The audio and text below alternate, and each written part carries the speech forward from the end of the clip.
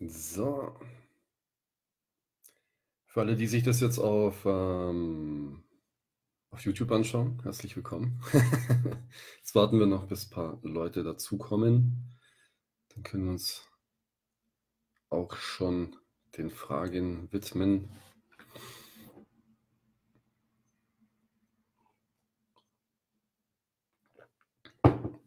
Ah, sehr gut, Nummer eins. Hallöchen. ich bin gespannt, wie viele es heute schaffen werden. Heute ist die Stunde, äh, heute haben wir unsere, unseren Livestream auch auf 45 Minuten erhöht. Bin mal gespannt, ob wir diese Zeit dann auch ausfüllen mit Fragen. Das würde mich natürlich sehr freuen. So, ich sehe Nummer zwei.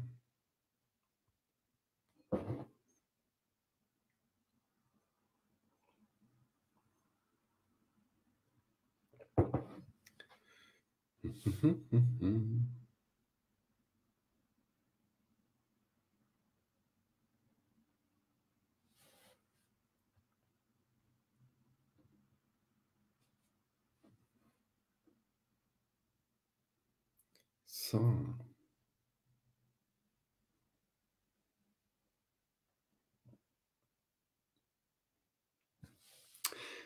Gut, also ich würde jetzt einfach mal sagen, Ihr könnt jetzt einfach auch schon mal anfangen, euch äh, Fragen zu überlegen und die einfach mal schon zu posten. Äh, und wenn jemand dazukommen sollte, dann wird er dann auch noch die Möglichkeit haben, ihm natürlich Fragen zu stellen. Wir haben heute relativ viel Zeit, deswegen gehen wir die Sache auch ein bisschen lockerer an, würde ich mal sagen. Hallo Dirk, freut mich, dass du heute auch dabei bist. Und wie gesagt, das wird heute, glaube ich, ein etwas äh, lockeres Unterfangen. Und äh, deswegen könnt ihr eigentlich schon mal beginnen. Ich werde jetzt nochmal die ähm, Regeln posten. Regeln für den Livestream, kein Posten von Links. Das steht an erster Stelle, weil das wäre unfair. Dann müsste ich mir jeden irgendwie anschauen. Hm. Ja, und das wäre dann einfach zu zeitaufwendig. Keine negativen Kommentare, das macht natürlich Sinn. Wir wollen uns ja helfen. Und spezifische Fragen wären mir am liebsten, weil dann kann ich eben auch äh, direkt antworten. Weil auf allgemeine Fragen könnte ich halt in jeder, in, auf jede Art und Weise irgendwie antworten. Und ich weiß dann nicht, ob das dann auch wirklich hilfreich ist. Deswegen einfach auch den Kontext herstellen. Das ist auch dann Punkt Nummer vier. Je mehr Kontext, umso besser. Und ich würde sagen, wir fangen einfach mal an. Ich kann in der Zwischenzeit auch noch ein bisschen was erzählen. Ich arbeite momentan auch ähm, an ein paar Projekten. Momentan beschäftige ich mich auch mit dem Galerie Galeriesystem im Detail. Und zwar wie Künstler mit Selbstvermarktung trotzdem eben auch eine Galerie für sich nutzen können. Das ist nicht immer von Vorteil, aber es kann von Vorteil sein. Und äh, da überlege ich mir gerade eine, ja, eine Art ja, Zusammenfassung aus Faktoren, die eben wichtig wären für jemanden, der unabhängig eben versucht, auch seine Kunst am äh, Kunstmarkt, am traditionellen, primären Kunstmarkt auch zu präsentieren, welche Dinge da eben wichtig sind. Beispielsweise gibt es von äh, Galeristen oft die Vor, äh, diese, wie soll ich sagen, so Vorschrift, dass ähm, ja, die, die Kunst dann äh, exklusiv ausgestellt wird. Das bedeutet, es kann auch mal passieren, dass in, diesem, in dieser Vereinbarung, im Vertrag, dann auch gerne mal drin steht, Exklusivrechte für die Ausstellung dieser Werke national. Und wenn man sich den Vertrag nicht durchliest, dann hat man ein ganz großes Problem, ja, weil es kann dann halt bedeuten, dass man in keiner anderen Galerie mehr in Deutschland ausstellen darf. Und das kann halt einfach ein ganz kleiner Passus sein. Auch ganz wichtig, äh, ein Faktor, der sehr übersehen wird, wann werde ich ausbezahlt, wenn das Kunstwerk verkauft wird. Ähm, da habe ich jetzt letztens mich auch mit einer Künstlerin unterhalten. Und äh, da war es tatsächlich so, dass die Galerie sich vorbehalten hat, wann sie denn tatsächlich den Künstler dann bezahlt. Also das kann dann auch schon mal Monate dauern, bis dann überhaupt nach dem Verkauf dann tatsächlich auch das Geld ankommt. Wie viel kommt an? Wer bezahlt für den Versand, das muss auch natürlich geklärt sein. Das sind Dinge, die man nicht einfach so auf sich zukommen lassen sollte. Ähm, und äh, ja, viele andere Dinge eben auch. Versicherung beispielsweise ist auch ein interessantes Thema. Und ähm, ja, das sind einfach so Punkte, die ich mal angesprochen habe jetzt mal. Vielleicht bietet euch das vielleicht auch ein bisschen äh, Stoff für Fragen. Ich sehe, es kommen keine Fragen. Ja. Ähm, die Frage von Anke, ups, und das dann bei 70 Prozent für die Galerie. Ich weiß nicht ganz genau, was du damit meinst. Vielleicht kannst du nochmal konkretisieren, was genau du damit meinst. Äh, ja, es ist, also zum, zum einen ist es schon mal so, dass Galerien ähm, zum Teil, also zum größten Teil ist es noch nicht so, dass sie 70 Prozent verlangen. Also der Trend geht in diese Richtung. Ähm, aber 50 bis 60 Prozent kann schon mal passieren. Also 50 ist völlig normal. 60 Prozent ist auch normal. Es kommt eben auch auf die Miete an der, der Galerie. Ähm, und äh, da muss man dann wirklich aufpassen. Es ist zum Teil auch so, wenn man Kunst dann versucht, auf dem primären Kunstmarkt zu platzieren, dann hat man oft das Problem, dass äh, ja die, die, äh, die Materialkosten nicht einberechnet werden in den Verkauf. Also es bedeutet, ich habe beispielsweise ein Kunstwerk und investiere 500 Euro oder 1000 Euro in die Produktion des Kunstwerks und ich bekomme dann aber nur 50 Prozent vom Verkaufspreis. Dann ist ja trotzdem der Preis, den ich ja für die Produktion bezahlt habe, äh, nicht gedeckt. Das heißt, eigentlich bekommt ja der Galerist dann mehr als 50 Prozent, weil ja meine Kosten höher sind. Also da muss man dann auch konkretisieren. Anke schreibt, dass die sich mit der Zahlung so viel Zeit lassen.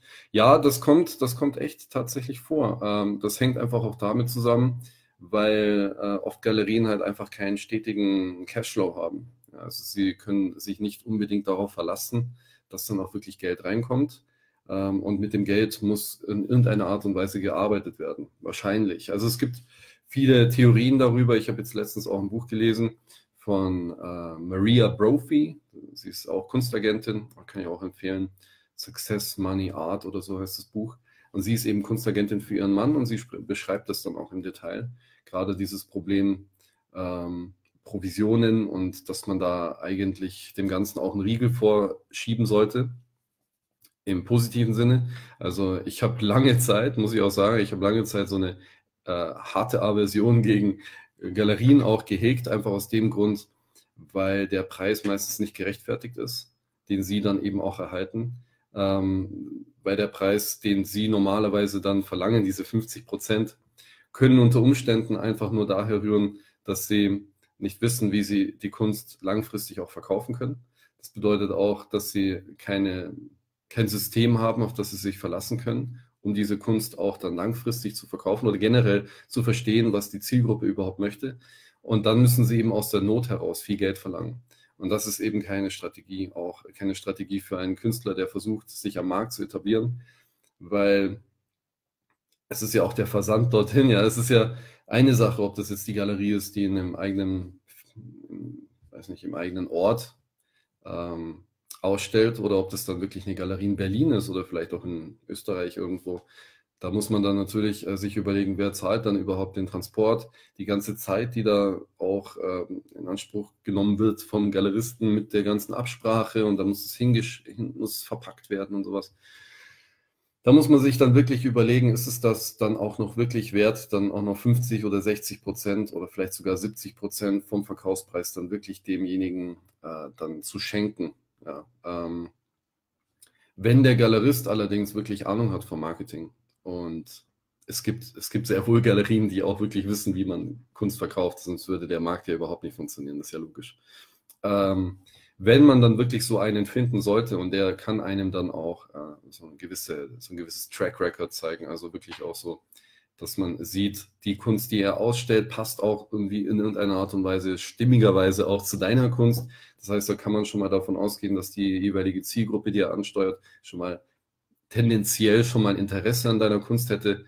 Und äh, dann wäre es natürlich interessant, sich auch mit bisherigen Künstlern dann noch zu unterhalten, die bereits in dieser Galerie ausgestellt haben, um halt dann auch zu erfahren, ähm, wie denn so die Erfahrungen waren. Ja, das ist äh, auch so ein Ninja-Trick, mehr oder weniger einfach mal die bisherigen Aussteller mal fragen, die bisherigen Künstler.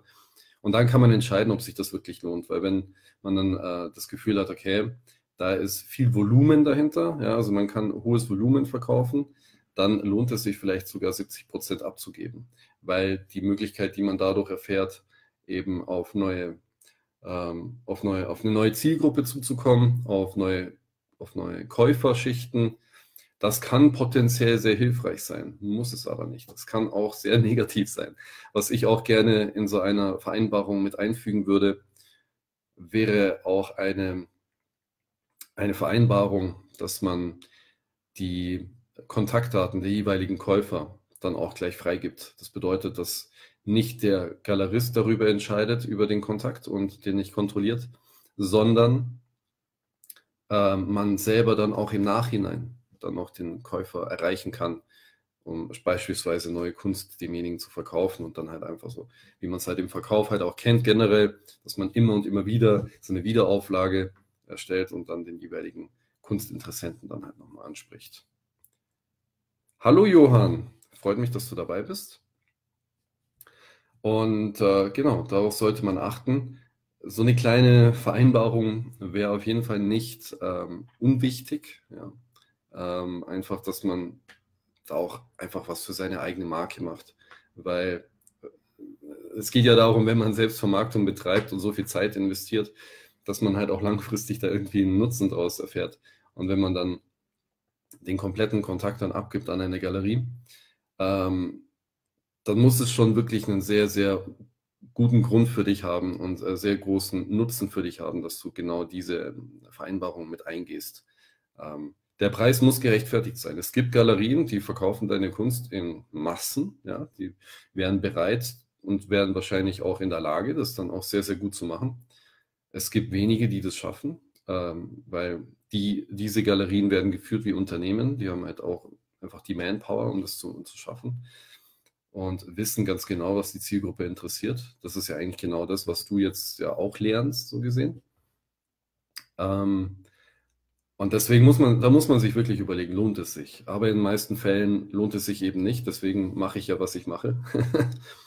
deswegen habe ich mir auch genau diese Zielgruppe oder dieses Thema ausgesucht. Also Künstler, die halt eben selbst Vermarktung betreiben wollen, weil es ist halt einfach die Zukunft, weil Galerien einfach viel zu teuer sind ähm, zum, zum Unterhalt einfach. Also dass man versucht, irgendwie eine Galerie erstmal hoch zu katapultieren aus dem Nichts. Ähm, gut, man hat halt sehr viele Kosten, die auf einen zukommen. Allein schon Stromkosten, sowas unterschätzt man gerne. Ja, das ist und dann muss man wissen, welches Produkt eben gut funktioniert. Normalerweise hat man da eben dann auch wirklich eine Marktrecherche, die man da betreibt. Aber wie soll man eine Markt Marktrecherche betreiben ohne ein richtiges Portfolio aus Künstlern? Das heißt, man nimmt eigentlich nur Künstler auf Verdacht rein.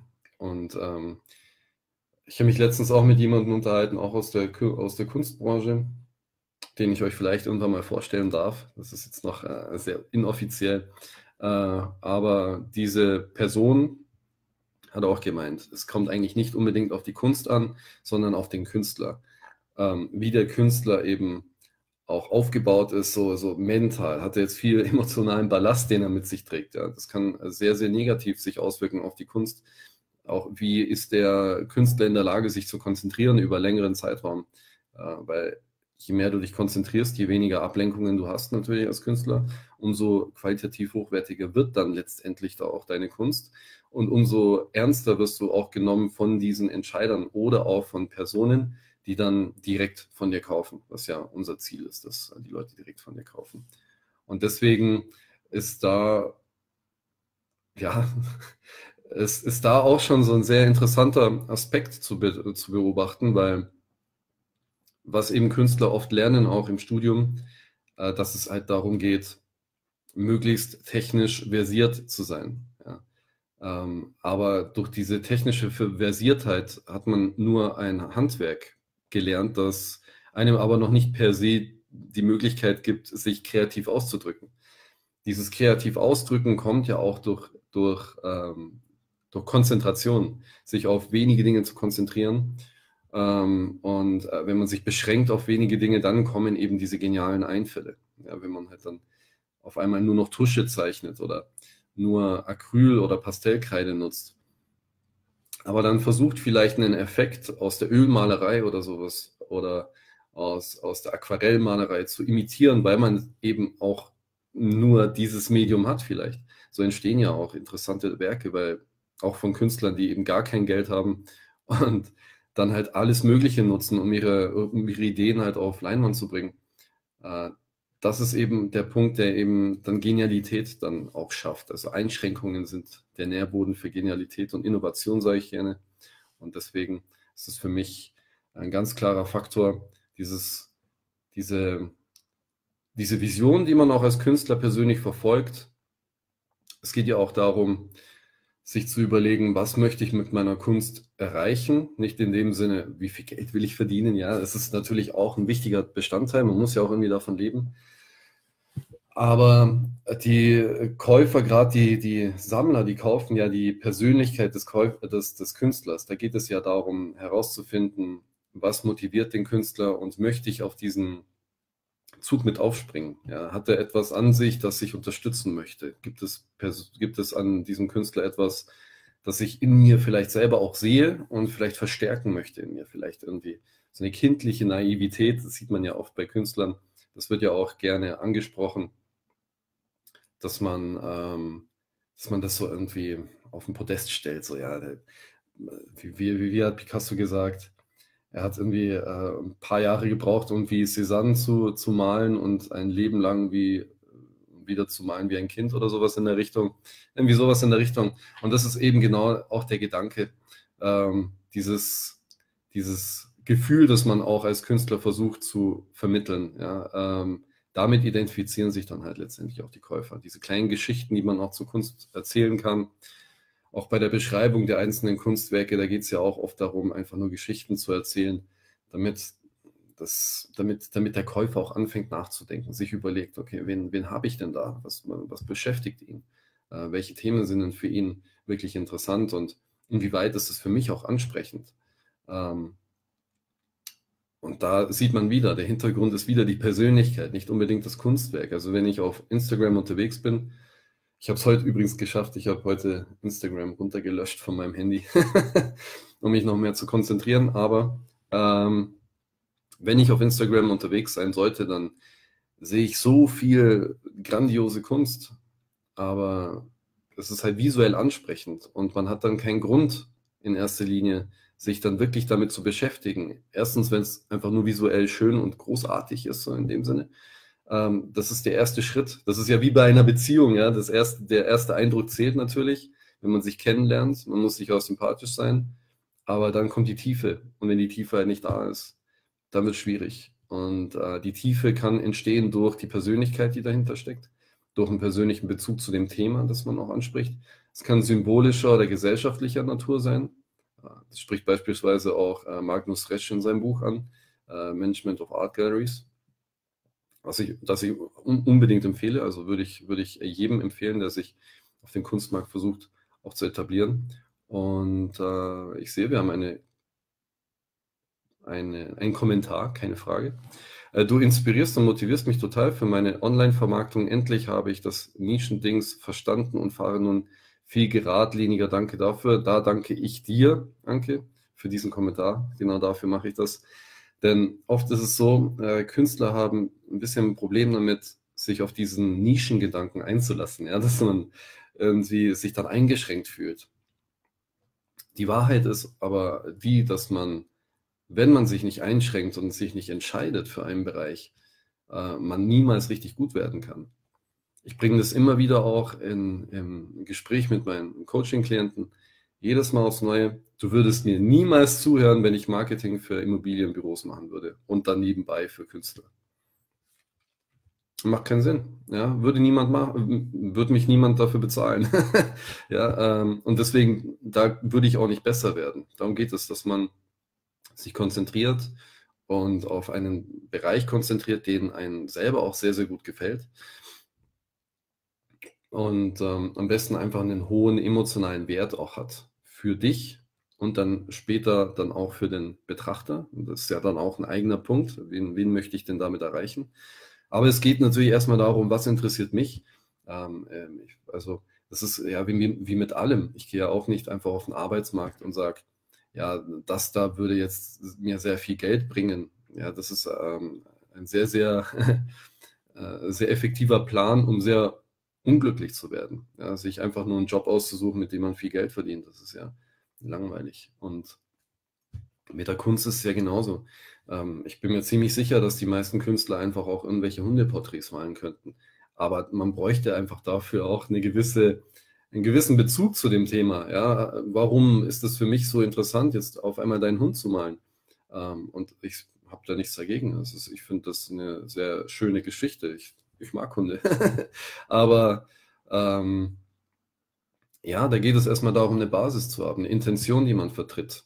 Und dann kann man sich überlegen, welche, welches Problem möchte ich denn lösen oder was möchte ich denn bezwecken mit meiner Kunst? Was soll ich, was will ich beim anderen aus, auslösen, auch in irgendeiner Art und Weise?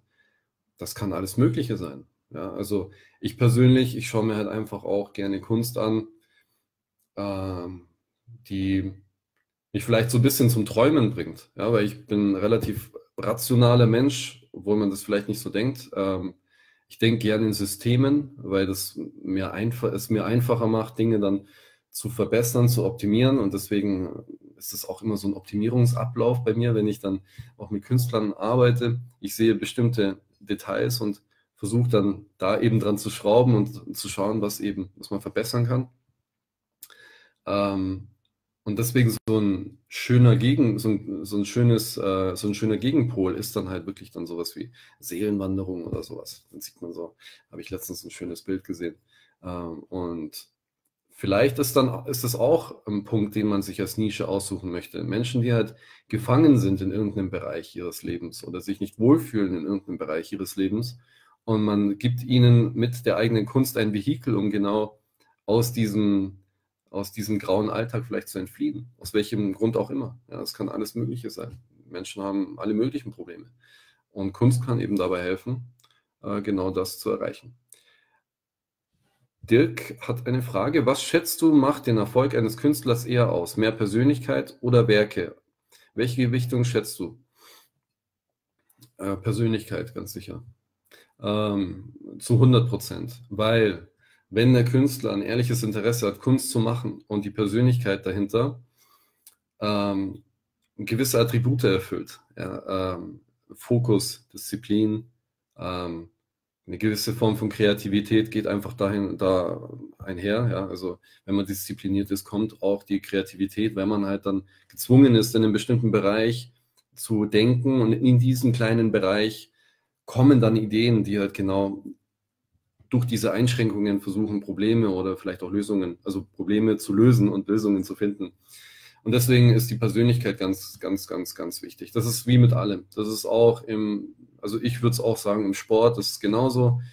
Da kannst du super talentiert und gut sein. Du kannst äh, viele Tore schießen, aber wieder, äh, wenn du dann, wenn du dann äh, so viele Eskapaden in deinem Privatleben hast oder dich nicht kontrollieren kannst, wenn du deine Impulse nicht unter Kontrolle hast und äh, ständig dich als Opfer deiner Umstände siehst, ja, das funktioniert nicht. Das ist, ähm, das ist wie mit allem. Ähm, ich, ich bin auch der Meinung, Menschen, also Unternehmer und so, auch Künstler haben keine Unternehmens- oder Business-Probleme, sondern es sind immer persönliche Probleme, die sich verstärken im eigenen Business. Also deswegen bin ich einfach der Meinung, die Persönlichkeit kommt an aller, allererster Stelle das ist etwas, was meiner Meinung nach auch in der Schule ein bisschen vernachlässigt wird. Und ähm, wenn die Basis nicht steht, dann kannst du dir Techniken beibringen, wie du willst. Ähm, es hilft nicht. ja, also man muss da schon eine gewisse Persönlichkeit mitbringen und bereit sein, äh, sich auch zu entwickeln. Ich habe auch oft das Gefühl, dass Künstler sich mit einem gewissen äh, Stereotyp versuchen zu identifizieren und sich vielleicht auch in so einen Stereotyp, Stereotypen flüchten und dann sagen, ja, ich, ich bin halt, ich bin halt unordentlich, weil ich Künstler bin. Ja, das ist keine Ausrede. Ähm, das finde ich persönlich, ähm, ja, finde ich, finde ich nicht besonders klug, weil man dann eben sagt, ich bin halt so, das sind meine Impulse und ich kann nichts dagegen tun. Also ich finde schon, dass man Verantwortung übernehmen sollte für sein eigenes Handeln und äh, auch diese Sachen so, ich bin ein, ich bin kein Morgenmensch und sowas. Das sage ich immer wieder. Also ich habe jahrelang als Türsteher gearbeitet, äh, bin um 5 Uhr zum Teil ins Bett und dann um 1 Uhr nachmittags ist aufgewacht. Ich stehe jetzt morgens auf. ja, ähm, also keine Ahnung. Also es, das sind einfach die Dinge. Diese Persönlichkeit ist eigentlich an erster Stelle. Ich hoffe, das hat deine Frage beantwortet. Ähm, Frage von Dirk. Wie hilfst du dann introvertierten Persönlichkeiten? Hm. Dann nehme ich einen Schluck. Ich bin auch der Meinung, ähm, wenn man sich beispielsweise diesen Meyer-Briggs-Test anschaut, sehr, sehr, sehr, sehr ähm, ja, verbreiteter Persönlichkeitstest, ich glaube 16personalities.com oder sowas, sollte mal jeder mal machen, gemacht haben, ist schon sehr interessant, ähm, zeigt dann so gewisse Tendenzen an, ob man extrovertiert ist, ob man introvertiert ist, ob man eher äh, intuitiv denkt oder eher, oder eher logisch, ähm, man eher kritisch ist oder verständnisvoll, so solche Geschichten. Das Lustige ist, den, den Test habe ich dreimal gemacht. Innerhalb von ähm, Abständen weniger Jahre. Mein, mein Ergebnis hat sich jedes Mal verändert. Am Anfang war es introvertiert, dann war es extrovertiert. Dann haben sich ein paar andere äh, Parameter auch ver verändert. Und heute habe ich ein ganz anderes, äh, ein ganz anderes Ergebnis. Also ich bin der Meinung, dass wir keine statischen Wesen sind.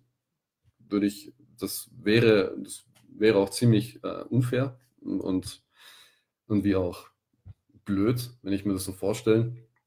Ich glaube, dass wir uns äh, stetig entwickeln und jemand, der sehr introvertiert ist, sollte sich einfach dessen bewusst sein, dass seine Tendenz momentan introvertiert ist. Äh, und diese Introvertiertheit kann ein sehr, sehr, kann ein großer Schatz sein. Ähm, nur äh, Extreme sollten vermieden werden.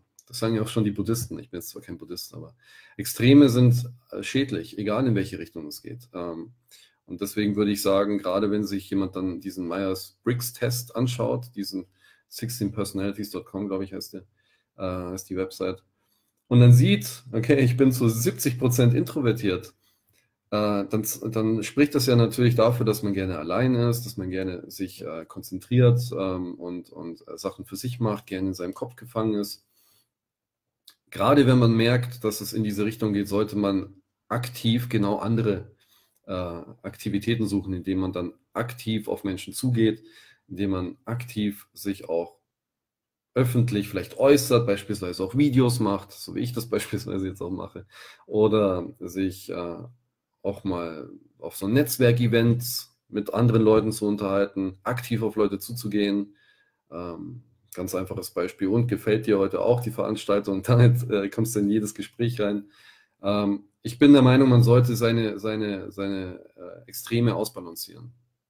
Und ähm, das wäre, deswegen wäre mein Tipp, Künstlern am Anfang, gleich am Anfang, ich, würde ich gleich sagen, okay, das, ähm, das, was du glaubst zu sein, ist einfach nur eine Idee, die du hast von dir selber und die ist geprägt durch Erfahrungen, die du irgendwann mal in, in, in, der, in der Vergangenheit hattest und durch deine Prägung und, und äh, Dinge, die dir deine Eltern gesagt haben oder Freunde und Bekannte. Und äh, das sind Dinge, die man ablegen kann.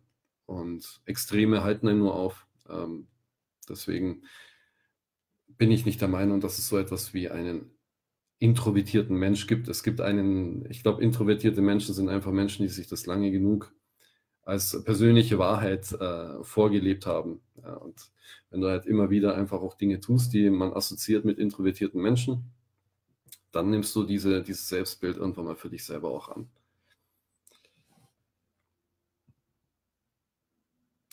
Ja, das stimmt natürlich auch. Dirk schreibt, naja, die Persönlichkeit ist ja kein Jackett, dass man einfach so, äh, dass man so einfach wechseln kann. Da bin ich absolut auf deiner Seite. Stimmt.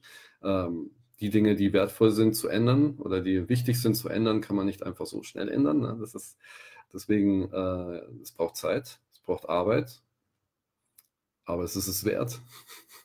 ja, ich meine, ähm, allein für, für Künstler, was es da für Möglichkeiten gibt. Also wenn du als Künstler bereit bist, in die Menschenmenge rauszugehen und dich mit Menschen zu beschäftigen und, und, und, und äh, dein Studio bereit bist zu verlassen, boah, da brauchst du nie wieder eine Galerie. Dann gehst du auf irgendwelche Messen und machst dort Live-Paintings und für äh, spezielle, spezielle Veranstaltungen, auch Restaurants und Event-Bookings, da kann man auf die Leute zugehen und sagen, hey, ich mache Live-Paintings für euch oder irgendwas.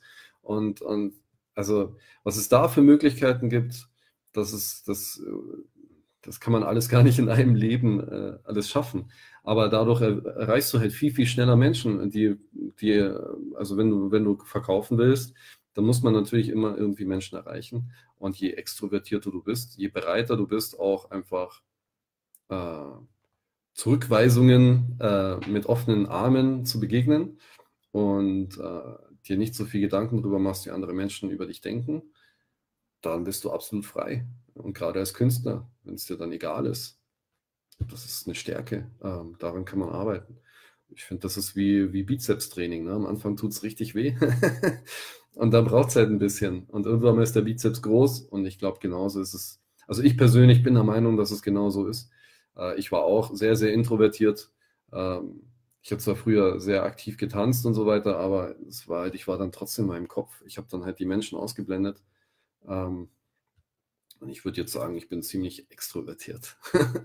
Deswegen, ich hoffe, das beantwortet deine Frage. Hallo Brigitte, freut mich, dass du auch wieder dabei bist. Aber genau das Thema Selbstbild, ähm, damit habe ich mich sehr, sehr lange beschäftigt, weil ich einfach auch mich immer schon damit mit der Frage beschäftigt habe, äh, was unterscheidet denn wirklich Menschen so äh, grundlegend? Ich glaube nicht, dass wir so grundlegend unterschiedlich sind. Ich glaube schon, dass, es, dass wir mit einer gewissen Grundneigungen zwar auf die Welt kommen, auch Talente haben, gewisse Neigungen, die dann halt auch sich, sich ausprägen, äh, aber das, aber auch von der, von, von, von der Persönlichkeit her sind es, glaube ich, auch nur kleine Tendenzen. Und wenn man dagegen, wenn man, wenn man Dinge tut und sich selbst beweist, dass das äh, Gegenteil auch möglich ist, dann glaube ich nicht, dass man da äh, wirklich Opfer seiner Impulse und Umstände ist. Ich glaube, dass man alles ändern kann. Also wenn man sich die Biografien von wirklich erfolgreichen Menschen auch durchliest, eine Biografie, die ich sehr, sehr interessant finde, ist von Malcolm X. Also, ja, kann man von ihm halten, was man will, aber äh, wenn man sich durchliest, was der für eine Entwicklung gemacht hat, gerade wenn man viel Zeit mit sich selber verbringt und keine Ablenkungen hat, wie im Gefängnis, dann legt man auf einmal viele schädliche äh, Verhaltensweisen ab. Und ich glaube nämlich auch, dass bei Künstlern genau das auch sowas, auch sowas ist. Dass man sich gerne dann mit anderen umgibt, die ein bisschen das Wertekonstrukt unterstützen, das man selber auch in sich trägt. Und äh, dann heißt es ja, ich bin introvertiert und äh, ich, oder ich bin Künstler und äh, mache deswegen die Dinge so. Ja? Äh, oder Künstler sind ähm, prinzipiell immer unpünktlich oder sowas wenn man, wenn man daran glaubt, dann ist es natürlich so. Man handelt ja auch entsprechend seines Selbstbildes und es ist nur von Vorteil, wenn man sein Selbstbild als Künstler auch dem anpasst, was man persönlich auch erreichen möchte, weil dein eigenes Handeln, deine eigenen Fähigkeiten, deine eigenen er auch Ergebnisse werden niemals die Grenzen deines eigenen Selbstbildes überschreiten. Da wirst du dich davor schön selber sabotieren. Ja, das passiert dann einfach, dass man müde ist. Und, mm, ja, steht, steht auch erst in einer Stunde auf oder sowas. Oder wenn es dann darum geht, Kunstwerke zu verkaufen und der Kunde ist da, dann fühlt man sich auf einmal ganz, ganz komisch, äh, weil das halt einfach nicht konkurrent ist mit dem eigenen Selbstbild. Und da gibt es genügend Bücher darüber, äh, die genau das dann auch zeigen, wie man sowas verändern kann. Äh, deswegen bin ich da der Meinung, äh, die Persönlichkeit ist das Allerwichtigste beim Künstler.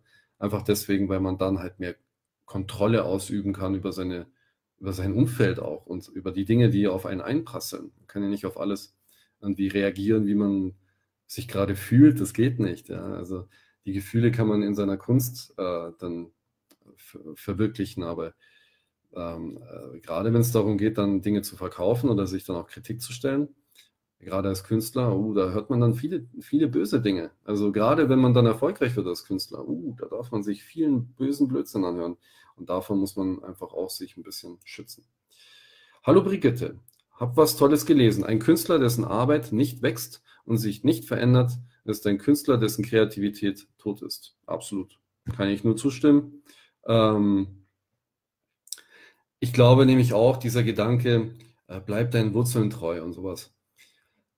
Da bin ich nicht unbedingt ein Freund davon. Äh, vielleicht sind deine Wurzeln nicht unbedingt hilfreich für das, was du machen möchtest, ja, wo du hin möchtest. Deine Wurzeln, über die hast du nicht entscheiden dürfen, manchmal. Ähm, es macht natürlich auch Sinn, gerade wenn es dann darum geht, die eigene Intention als Künstler zu definieren, dass man wirklich auf die Dinge zurückblickt, die einem richtig viel Spaß bereitet haben.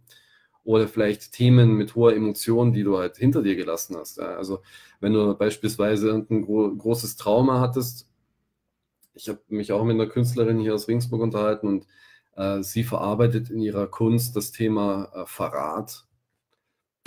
Äh, ja, weiß ich nicht, ob ich äh, dann äh, einem Künstler empfehlen würde, sich intensiv mit solchen Themen zu beschäftigen, sondern vielleicht einfach das so hinter sich zu lassen, vielleicht neue Themen anzusprechen, Dinge, die einen interessieren.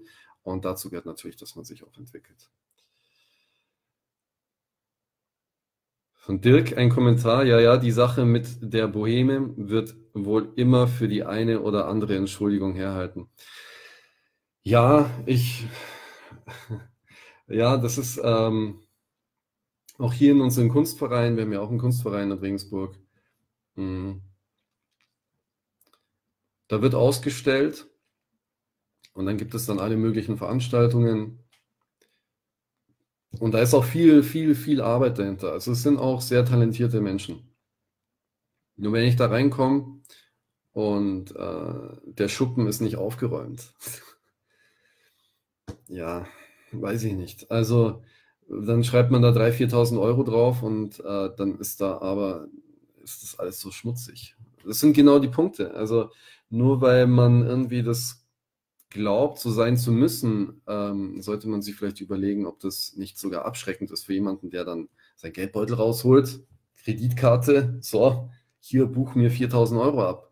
Ja, der schaut halt eben auf solche Dinge. Ist denn, wie, wie läuft es denn hier ab? Ist es denn vertrauenserweckend? Es mag Leute geben, die darauf abfahren, die äh, gerne sehen, dass der Künstler in seinem eigenen Dreck lebt und sich mit mit, nur mit seiner Kunst beschäftigt, aber ich finde, dass man schon sich auch als Künstler ein bisschen wie, wie ein, oder man sollte sich eigentlich wie ein Profisportler sehen. Ja, es gibt bestimmte Dinge, die Profisportler einfach nicht machen. Und äh, unter anderem ist es eben auch sauber und geordnet zu leben. Und das sind auch kreative Menschen. Sport ist sehr kreativ. Äh, und ich glaube nur, ich, also ich bin der Überzeugung, dass es das eigene Schaffen nur unterstützen kann. Äh, allein regelmäßige Schlafzyklen was das hormonell in deinem Körper anrichtet, wenn du äh, immer Nachtschicht machst und äh, hier um 4 Uhr dann aufhörst zu malen und dann wachst du irgendwann mal um 9 Uhr wieder auf und dann, dann gehst du irgendwann mal um, um 7 Uhr abends schlafen, weil du total übernächtigt bist. Das wirft den kompletten Hormonhaushalt durcheinander. Du kannst nicht produktiv sein. Dann ist natürlich die Motivation weg. Man weiß nicht, wie, woher, woher jetzt auf einmal dieses, dieses Loch kommt, in das man da reingerutscht ist. Also es sind schon viele Punkte, die dann, äh, die dann aufeinander aufbauen, viele, viele Problemchen, die dann aufgrund dieser, dieses seltsamen Lebensstils dann zu einem ganz, ganz äh, depressiven Dasein dann auch führen können. Also ich sage eigentlich jedem meiner Künstler ist es ganz wichtig, dass man, dass man das wirklich sieht als Unternehmen, was man da hat. Und äh, man braucht halt diese Systeme und diese Systeme müssen sauber und geordnet sein. Und alles innerhalb dieser Systeme kann ja kreativ sein. Aber ich finde, genau da unterscheidet man einfach. Also ich bin auch der Meinung oder ich bin davon überzeugt, dass Künstler oft auf den Markt gehen ohne eine These. Die wissen auch gar nicht, was sie eigentlich hier machen und warum sie überhaupt diese Kunst machen und was sie damit bezwecken wollen. Dann wird diese Kunst präsentiert, aber dann wird nicht aufs Feedback geachtet. Stell dir mal vor, du fängst an, irgendwie einen Sport zu machen, ja? also beispielsweise Cricket oder sowas. Du kennst die Regeln nicht, aber hey, du hast einen Schläger in der Hand. Naja, dann spielst du einfach so, wie du dir das vorstellst, hast aber äh, gar keine Vorstellung darüber, wie das Spiel eigentlich ausgehen sollte, weil du nicht weißt, wie Cricket gespielt wird. Aber du achtest auch nicht aufs Feedback, weil du ja eh keine These hattest. Das ist ein seltsames Spiel, das du da spielst.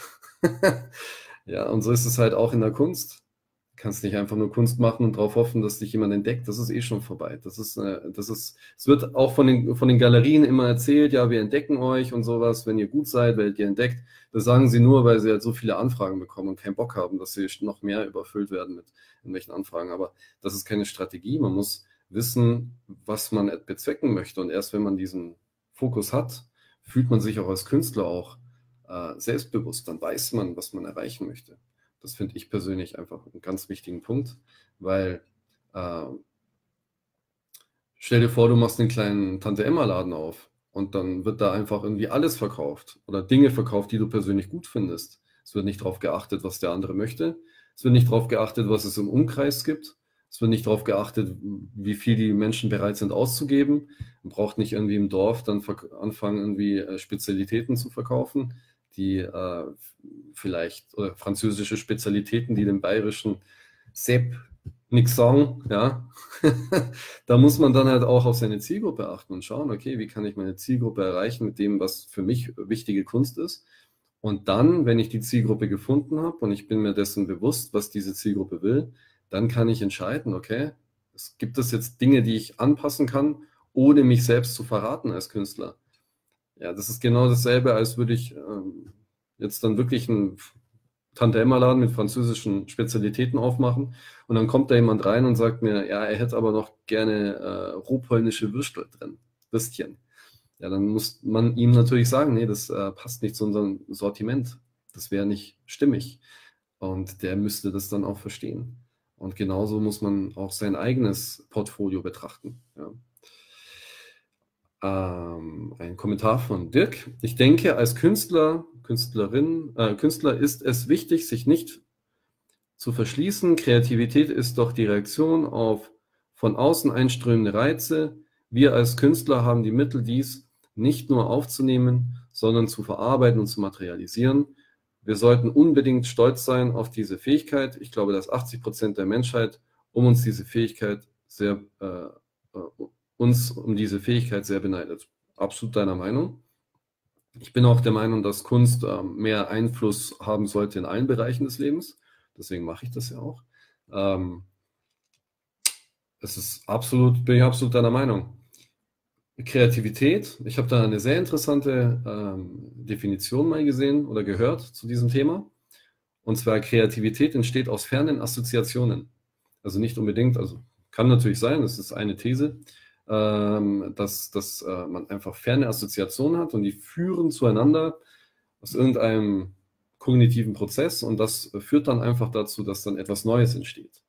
Ähm, beispielsweise, wenn man als Künstler sich dann wirklich mit einem Thema beschäftigt und man hat eine gewisse Methode vor Augen und möchte dieses Thema stimmig kommunizieren, da hat man zwei ferne Themen und man beginnt, die aneinander zu reiben und irgendwann mal hat man diese ferne Assoziation geschaffen. Äh, und das macht dann eben auch den Wiedererkenn diesen Wiedererkennungswert aus. Dass man einfach dann plötzlich Dinge miteinander verbindet, die davor nicht verbunden werden konnten. Und äh, daraus kann Kreativität entstehen. Es kann aber auch natürlich, es können alle möglichen Themen sein. Also das ist jetzt nur eine These. Was Kreativität ist, das weiß ja kein Mensch. Da gibt es ja viele Meinungen. Ähm, Deswegen, äh, aber ich finde das, find das schon wichtig, dass äh, Künstler auch anders wahrgenommen werden. Einfach aus dem Grund, weil äh, Künstler ähm, in allen Bereichen, egal ob es in der Literatur ist oder auch in der Werbung, ja, ich bin ja ein Werbemensch, äh, verändern wirklich Dinge. Ähm, schau dir einfach mal das iPhone an, ja. Das ist ja auch ein Designstück. Ähm, das sind Dinge, die man tagtäglich mit sich umträgt. Und Kunst hat halt, hat halt einen sehr, sehr positiven Einfluss auf die Menschen, habe ich das Gefühl. Und deswegen sollte das einfach mehr in den Alltag einfließen. Wir haben jetzt noch eine Minute, liebe Freunde. Äh, heute war das mehr ein Monolog, aber das mache ich natürlich sehr gerne. Äh, einfach auch mal so mein, meine Denkprozesse so ein bisschen rausblubbern zu lassen. Wenn ihr noch Fragen haben solltet, dann könnt ihr sie jetzt noch stellen. Ja. Ansonsten würde ich das dann so langsam ausklingen lassen für diejenigen, die äh, sich das nochmal ansehen wollen, können das natürlich auf YouTube anschauen oder eben auch in der Ikonen-Community. Diejenigen, die sich das jetzt auf YouTube anschauen, können äh, der Ikonen-Community auch beitreten. Unten werden dann, wird dann auch in der Beschreibung dann auch der Link zur Ikonen-Community hinzugefügt. Ja, und wir sind jetzt bei 45 Minuten gleich und ich äh, bedanke mich für eure Teilnahme. Wenn euch das gefallen hat, dann äh, schreibt doch einfach mal eine 1 in, den, in die Kommentarbox. Ja, Dirk, Monolog, stimmt schon ein bisschen. Äh, ja, ja also muss ich dir natürlich danken. Du hast äh, sehr viele Fragen gestellt. Aber verglichen jetzt beispielsweise mit, den, äh, mit dem äh, letzteren Livestream, da waren ja viel mehr Fragen auch involviert. Und äh, was aber nicht bedeutet, dass ich das jetzt irgendwie schlecht finde. Ist auch mal ganz gut. gut, dann ähm, wünsche ich euch, wünsche euch auf jeden Fall ein schönes Wochenende. Ähm, genau, es gibt ja jeden, jede Woche gibt es auch eine Empfehlung, auch eine Empfehlung von mir, und zwar artsy.net. Das ist eine Seite, die euch regelmäßig mit Statistiken, ich habe das einfach mal in die Kommentarbox, äh, die euch mit Statistiken und äh, wichtigen ja, Zahlen zum Kunstmarkt auch beliefert ich kann euch ja viel erzählen. Das ist immer gut, wenn man dann auch selber ein bisschen recherchieren kann. Und dort recherchiere ich auch viele meiner, meiner Daten. Und es gibt dort eben auch noch interessante ähm, Artikel zum Thema, wie Galerien eben sich in Zukunft auch bewerben und äh, wie sie Marketing machen sollen. Das ist auch ganz gut. Dann könnte man auch so ein bisschen Einblick äh, sich selber verschaffen in diese Branche und äh, vielleicht auch so sein eigenes Marketing so ein bisschen anpassen. Vielleicht hat man da dann auch Ideen, neue Ideen. Und äh, ja, ich würde sagen, wir sehen uns nächste Woche. Ich werde es nächste Woche nochmal äh, explizit anmelden und nochmal äh, noch ankündigen, damit noch mehr Leute dabei sind. Aber es hat mir sehr viel, äh, sehr viel Freude bereitet und ich wünsche euch ein schönes Wochenende und bis zum nächsten Mal. So.